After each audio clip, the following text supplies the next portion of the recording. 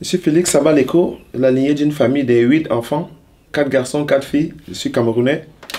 Je suis né à Yaoundé. Aujourd'hui, je suis français. J'ai fait mes études dans le Jura. Je suis sorti en tant qu'ingénieur forestier, c'est-à-dire euh, diriger une société forestière euh, de la forêt aux produits finis. Et j'ai commencé à faire la musique euh, tout de suite après, à la suite d'un malentendu avec mes parents entre mon travail de forestier et la, suite de ce travail. Qu'est-ce qu'il fallait faire après? Donc on avait deux visions différentes et donc du coup euh, j'ai pris ma vision et mes vivres ont été coupés parce que je ne suivais pas la vision qui était prévue pour moi. Et du coup, ben, je n'avais plus rien à faire. Euh, il fallait que je trouve quelque chose pour euh, me nourrir, m'habiller, manger, habiter quelque part, j'ai fait la musique. C'est tout ce que je savais faire de, de bon à l'époque.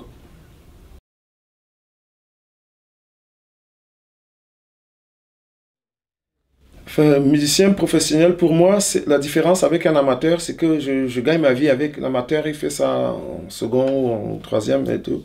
Mais c'est à partir du moment où j'ai commencé à... On a montré mon euh, mon premier groupe, c'était avec mon petit frère. On gagnait pas grand-chose. Et c'est quand on a commencé à travailler avec Manu Dibango qu'on s'est considéré vraiment comme professionnel.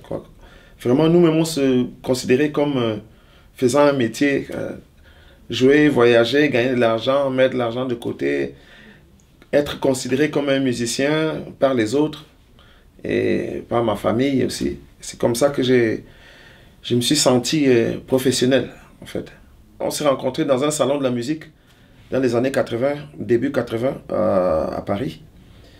Euh, il est passé comme ça, on s'amusait avec mon frère, qui est bassiste. Et c'est comme ça qu'il nous a rencontrés, il nous a dit de, venir chez lui. on a été boire des, du thé, du café et tout et tout. Et le soir même, il nous a amené à une émission de radio qui s'appelait Pollen à l'époque avec euh, Jean-Louis Foulquier. Et on a fait une jam euh, avec euh, Manu et, d'autres musiciens qui étaient là. Bon, ça lui a plu et il nous a dit d'intégrer son groupe quelques semaines après. C'est comme ça qu'on a rencontré Manu et Dibango.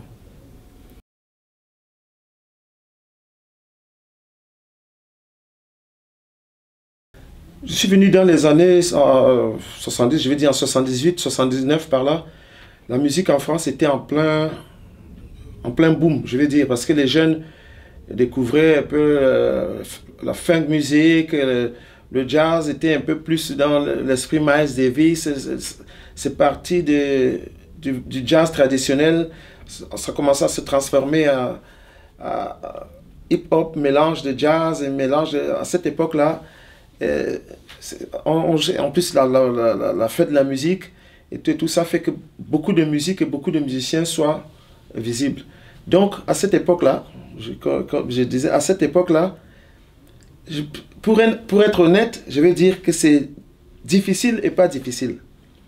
C'est difficile quand euh, tu n'as pas un réseau d'amis qui te font commencer le métier, qui te présentent des artistes, qui, t'invite à jouer à, des endroits, c'est assez difficile. Quand tu arrives et tu connais personne, c'est difficile. Bon, moi j'ai subi beaucoup de choses aussi, le, racisme, des choses comme ça là.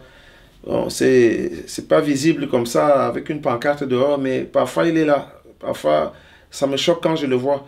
Mais je vais pas dire que c'est fort comme euh, dans certains endroits, mais quand même c'est là. Moi j'en ai souffert un tout petit peu. Et c'est c'est difficile. Mais d'un autre côté aussi, je, je, peux jouer aussi du fait que j'étais noir. Ça m'a donné beaucoup d'avantages aussi. Parce que ça faisait bien aussi d'avoir euh, un noir dans son groupe, ou bien dans sa musique, ou bien... Donc j'ai aussi profité de ce fait-là. Donc, l'un dans l'autre, je peux dire que c'est bien et c'est pas bien. Quand tu commences la musique ici en France, ça peut être difficile ou pas difficile, ça dépend de, du moment ou bien ça dépend de beaucoup de choses, quoi, tu vois, en fait.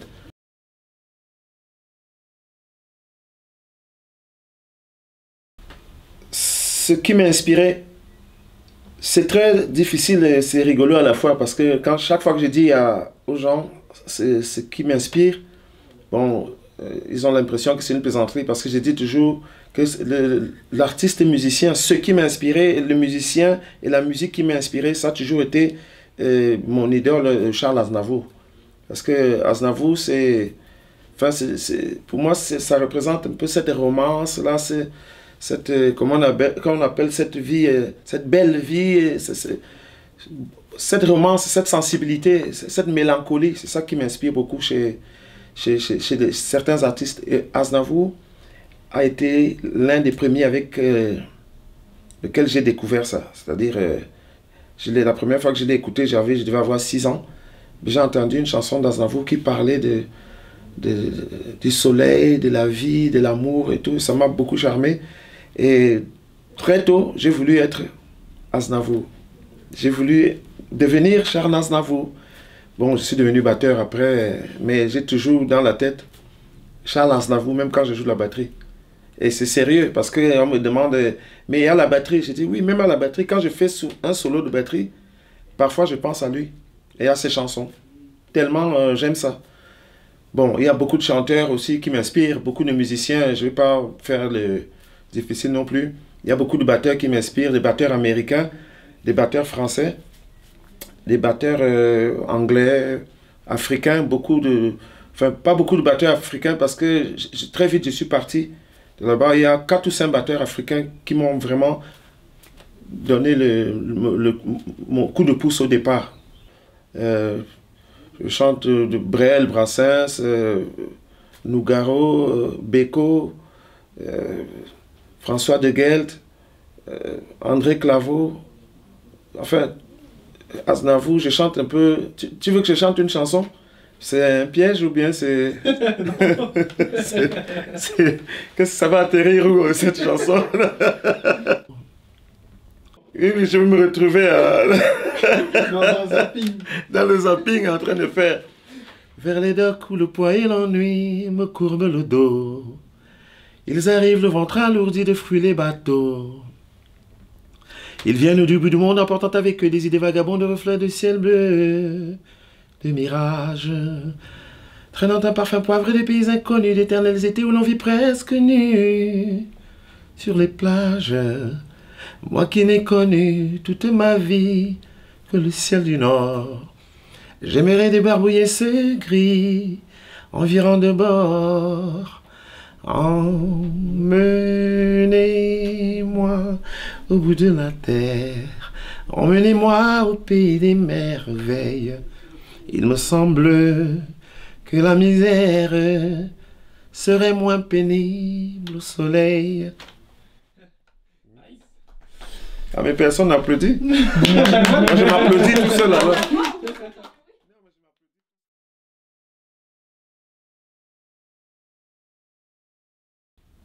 on est arrivé dans un club complètement par hasard. Le patron du club nous a demandé, vous êtes le groupe de salsa qu'on attendait Et mon frère et moi et les autres musiciens ont dit, oui, oui, oui, c'est nous. Bon, c'était pas nous forcément. Mais ils nous ont dit, ok, entrez vite, vite, parce que ça va commencer dans une heure. On est monté, on a, on monté le matériel, on a réglé tout et tout et tout. Bon, on était prêts. Vous pouvez commencer. Et vous allez faire un show de combien de temps? On m'a dit, ouais, une heure, une heure et demie. Oh, super, ça va. Bon, allez, bon, allez, on commence. On fait les chaises et tout, rideau. On commence à chanter.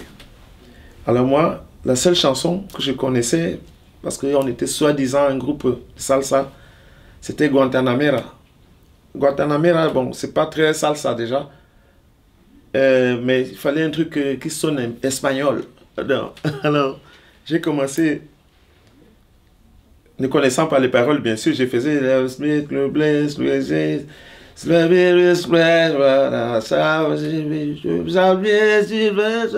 Bien sûr, on, il ne fallait pas qu'on voit ma bouche parce qu'on allait savoir que j'étais en train de chanter en papou, en camerounais ou en cobayen. Donc je faisais Guantanamera. Bon, c'était la seule parole que je connaissais dans la chanson. Wahira Guantanamera. Et le morceau finit. Deuxième morceau. Alors je dis au gars, mais c'est le seul morceau qu'on connaissait à peu près en espagnol. Mon frère me dit, mais c'est pas grave, on va rechanter le même morceau, mais on va changer de tempo. On allait plus vite. La même chose.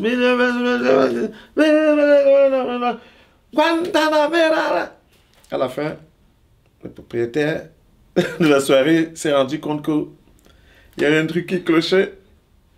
Ils étaient déjà méchés. Il est venu avec une bière. Il a versé à chacun comme ça, à chaque musicien, c'est des têtes et tout. Il a dit la prochaine fois que vous ne connaissez pas les paroles, parce qu'il y a plein d'Espagnols. C'était une soirée salsa, donc il y a plein d'Espagnols. Et ils connaissent Guantanamera. Nous, on arrive à faire Guantanamera, Guantanamera, Gamera, Guantanamera, Mera, Guanta, Guantanamera, Guantanamera. On a dit non, non, monsieur. On est, on est obligé de dire, bon, oui, mais oh, arrêtez, arrêtez, vous allez arrêter là. On dit, ok, bon, d'accord, bon, vous, vous allez nous payer. Et le gars dit, quoi? Vous voulez qu'on vous paye en plus? Les chiens, allez, on est obligé de prendre notre matos et on est parti presque en courant. Et ça, je me rappelle de ça parce que on en rit aujourd'hui, mais à l'époque, c'était très, très, très, très chaud. On courait avec le matériel comme ça, avec, euh, à la plage. Euh, on était obligé d'aller comme des, des, voleurs. Bon, après, finalement, j'ai bossé quand même les paroles de Guantanamera à la fin. Mais par contre, ça, je ne vais pas vous chanter ça aujourd'hui.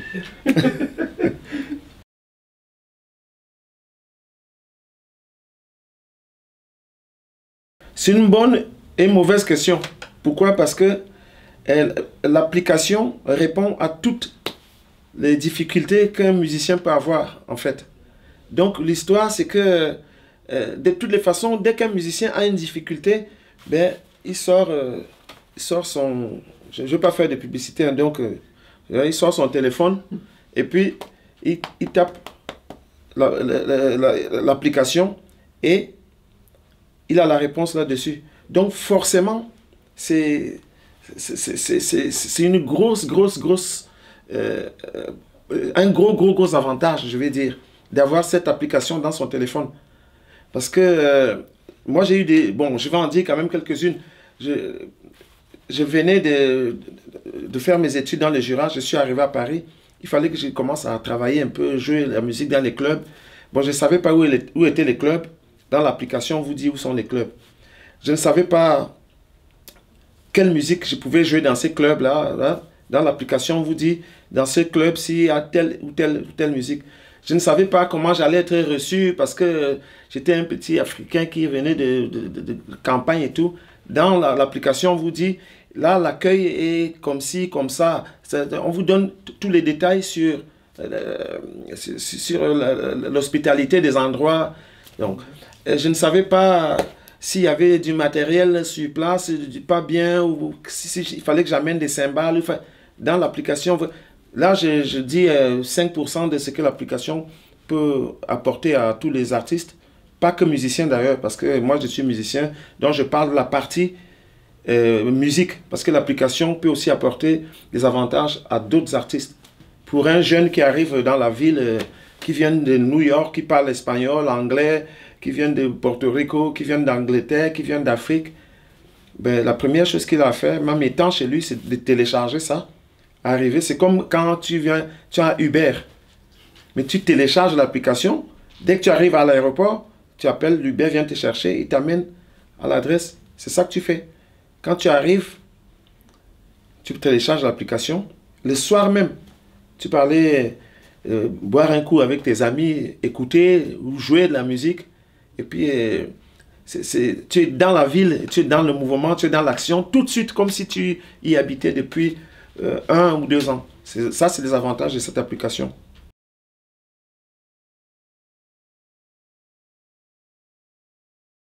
En ce moment, je suis en train de préparer, euh, je dis toujours, je rigole parce que tous mes amis me disent, mais ça fait mille ans que tu dis ça. Mais oui, ça fait mille ans que je prépare un album en tant que chanteur.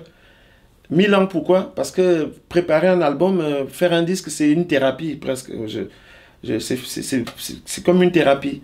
Bon, je ne vais pas dire que j'ai des problèmes. Euh, non, mais c'est que chaque musicien a un combat avec ses émotions avec ses, s'exprimer en public. Euh, je peux être très bon batteur, euh, mais on ne sait pas ce que j'ai vu. Euh, on disait que Brel, avant de chanter, il allait vomir dans les coulisses, c'est très difficile parfois de s'exprimer devant des gens, hein, même si on est très talentueux avec son instrument. Donc moi, j'ai pris ce temps-là pour m'améliorer, me perfectionner, pour ne pas avoir d'hésitation sur scène. quoi. Donc je prépare, euh, je suis toujours en train de perfectionner un album. J'ai dit perfectionner, hein, parce que l'album est fini, mais j'enlève des petites virgules parce que je veux que ce soit très bon. En tant que chanteur, euh, pas batteur cette fois-ci, mais euh, c'est des chansons françaises, comme je disais tout à l'heure, Brel, Brassens, c'est des reprises en fait. Aznavour, Nougaro, Gilbert Bécaud, enfin voilà, donc c'est les projets que j'ai en ce moment en tant que chanteur. En tant que batteur, j'ai envie de, de, jouer de la batterie pour mon plaisir. Maintenant, j'ai pas envie de, j'ai plus envie de jouer pour courir derrière des cachets, gagner de l'argent. Il y a des jeunes qui le font mieux que moi. Et puis, euh, je crois qu'ils euh, le font très bien. J'ai envie de jouer pour, pour m'amuser, pour, m'éclater. Mais je joue encore, euh, je fais encore des tournées, j'ai fait encore des grosses tournées. Je viens de terminer la tournée des Gypsy King, où ils font une multitude, multitude de dates par an. Ça me suffit, ils sont gentils, ils sont... La bonne musique. Donc, moi, et, enfin, je, je travaille encore beaucoup, quoi.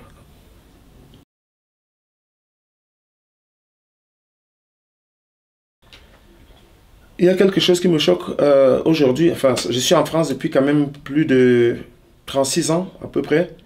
Et j'ai vu les choses changer petit à petit. Vraiment changer. Euh, on a perdu, euh, on a perdu le, le, le côté romantique, comme on dit, du cœur, la famille, des relations proches que la France avait avant, que moi j'ai connu quand j'étais en Afrique, chez moi au Cameroun. Euh, maintenant, euh, pour avoir, je ne sais pas, un service ou bien pour travailler avec quelqu'un, euh, les, gens attendent forcément que tu leur donnes quelque chose en retour. Qu'il faut forcément qu'il y, ait, y ait un intérêt. Il faut forcément qu'il y ait un intérêt. Ça ça, ça, ça, me choque. Il n'y a plus de générosité gratuite, c'est-à-dire pour faire plaisir à quelqu'un. Donc maintenant, les gens euh, voilà pourquoi c'est important euh, cette application-là. Pourquoi? Parce que maintenant, les gens gardent jalousement leur, leur, enseignement, les banques de données, par exemple, comme ça, des choses, euh, je dis les données du cœur aussi, ou bien les vraies banques de données, elles sont gratuites, c'est-à-dire que je peux, je peux avoir, par exemple, j'ai envie de monter un label, c'est ça que j'ai envie de faire en ce moment, en plus, c'est vrai. Eh bien, j'ai envie de, de certains renseignements, de subventions, des choses comme ça, là. Eh bien, il y a beaucoup de gens qui m'ont dit, ouais, ben, je ne sais pas. Alors qu'eux, ils avaient monté des sociétés, ils avaient des possibilités de m'informer pour que, ça aille vite. Avec l'application, il y a tous ces renseignements qui sont là. Il y a une équipe qui a travaillé avant pour récolter ces renseignements-là. Maintenant, c'est disponible dans l'application. Et ça, je crois que ça ramène un peu le côté, euh, on vous donne ça, comme ça. C'est, une générosité euh, gratuite. c'est ça, voilà pourquoi je reviens toujours sur cette application-là. Parce que euh, c'est ça qui me choque aujourd'hui. Aujourd'hui, si je, t'appelle pour euh, jouer avec moi, c'est parce que j'espère que toi, tu vas m'appeler aussi.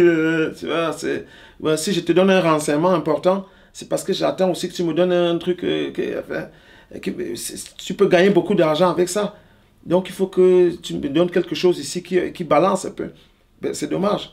La générosité gratuite la bonté juste amicale du cœur, machin.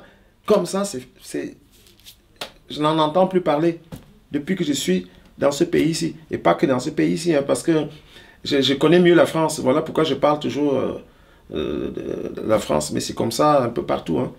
Alors, euh, j'espère que des, applications comme ça, il y en aura une, deux, trois, quatre, cinq, six, sept, huit, neuf, dix dans beaucoup de domaines pour que, que, ça, que ça ramène un peu ce côté facile, pratique de la, vie de tous les jours.